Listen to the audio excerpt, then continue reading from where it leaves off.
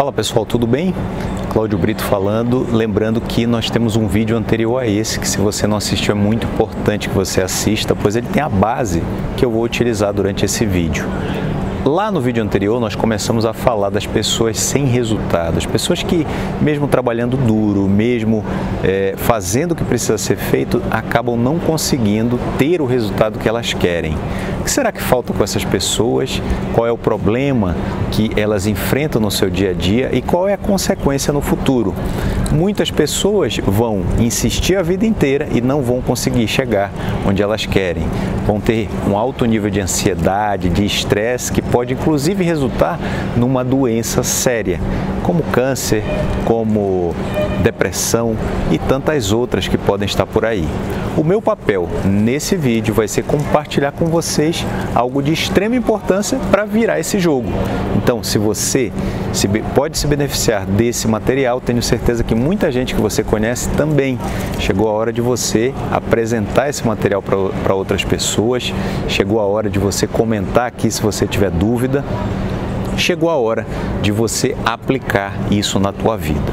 No vídeo anterior, você definiu o teu propósito em uma expressão única, aquela expressão que se você falar com um amigo o porquê você faz o que faz, vai ficar fácil entender. Como exemplo, eu vou trazer o meu propósito. Meu propósito é contribuir para o sucesso de pessoas e organizações através do conhecimento.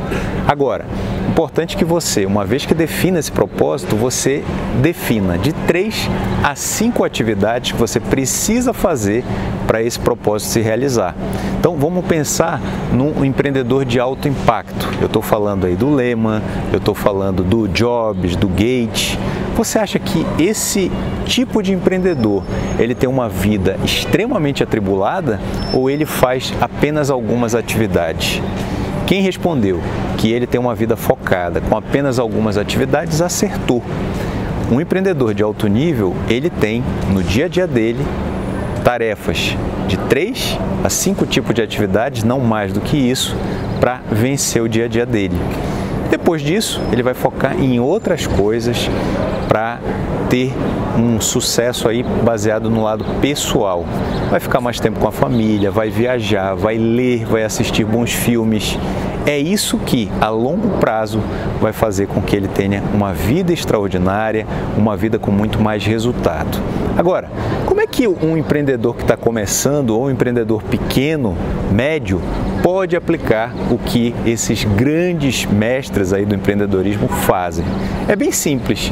Você precisa analisar agora o teu propósito, o que você escreveu no vídeo anterior e definir de três a cinco atividades que você vai fazer no teu dia a dia para esse propósito acontecer. Então vamos dar um exemplo? No meu caso, contribuir para o sucesso de pessoas e organizações através do conhecimento, eu preciso fazer alguns tipos de atividades. Vamos falar quais são? Vamos lá, olha só. É, para contribuir para o sucesso de pessoas através do conhecimento, eu preciso estar constantemente me atualizando. Então, o que, que eu estou fazendo? Lendo, estudando, fazendo cursos e também realizando. Se eu, o meu papel é contribuir, eu preciso realizar esses cursos para que as pessoas tenham acesso ao meu conhecimento. Eu posso realizar palestras, eu posso realizar eventos e também participar de eventos. Eu posso ampliar minha network. Quanto mais pessoas eu conhecer, seguramente mais pessoas eu vou alcançar com a minha mensagem e eu preciso também vender. Se eu não vender, o meu propósito não se realiza, eu não consigo atingir as pessoas que eu quero. Então, com isso em mente, eu começo a organizar as atividades que eu preciso fazer. Primeira atividade, qual é? É você participar e realizar eventos. É você fazer cursos e também realizar cursos. É você estudar, estar atualizado, lendo bons livros, bons filmes e também é vender. Com essas atividades, o meu propósito vai se realizar. Agora, vamos olhar para o teu caso. É nesse momento que você vai aprender, você vai ter algumas dúvidas, que você vai ter alguns gatilhos que provavelmente vão te segurar aonde você está. Então o que, que você precisa fazer? Você precisa se conectar novamente com você mesmo, você precisa pensar claramente sobre o teu propósito e você precisa tomar nota. Talvez isso leve mais tempo do que a duração desse vídeo. Então fica tranquilo, se você quiser, pausa o vídeo nesse momento e vai escrever lá o que você precisa escrever, ok? Bom, agora que você já tomou nota, que você já escreveu aquelas tarefas que você precisa realizar para o teu propósito acontecer, chegou a hora de pensar um pouquinho mais a respeito das tarefas que você vai fazer e das tarefas que você vai delegar. Vou dar um exemplo para você. Lá no início, quando eu comecei, a venda era toda feita por mim, 100%. A pessoa entrava em contato, eu esclarecia as dúvidas, fechava, mandava contrato, a pessoa assinava contrato, eu abria, dava acesso para ela aos nossos conteúdos online e durante muito tempo foi assim. Porém, eu precisava crescer, eu precisava expandir o meu negócio. E alguns meses atrás, o que, que eu fiz? Contratei uma equipe de venda. Essa equipe vai ficar responsável pelo contato com, dos clientes até o fechamento, que era algo que eu fazia lá atrás.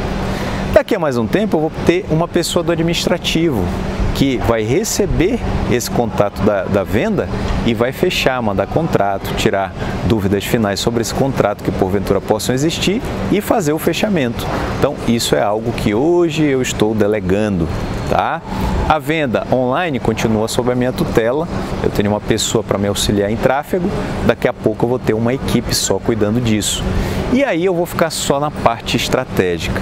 Perceba que quanto menos atividades eu fizer, mais qualidade eu tenho na entrega. Então, se eu ficar somente na parte estratégica, a entrega da estratégia, o pensamento, o planejamento para os próximos passos do meu negócio vão sair de forma mais clara, vão ficar melhores. É o nível que você precisa imaginar para o teu negócio.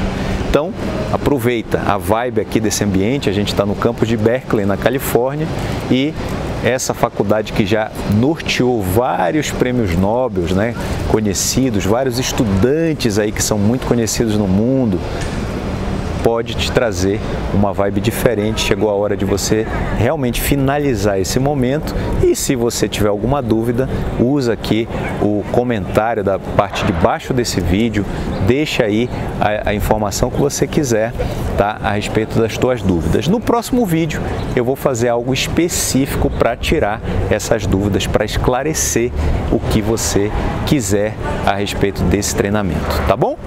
Grande abraço, até breve, até nosso, nosso próximo contato.